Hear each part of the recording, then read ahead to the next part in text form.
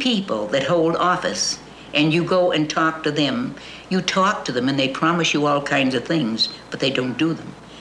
But whatever people that I know of have gone and asked him to do, he has done something one way or the other for them to help them out.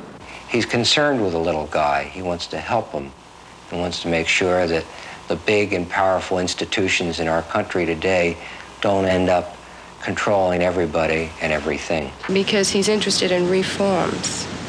Um, and that is what, you know, to me, somebody who's in that office should be doing. And the fact that he's interested in doing that, my, you know, my gut feeling is he's just got to be a warm person who cares about people.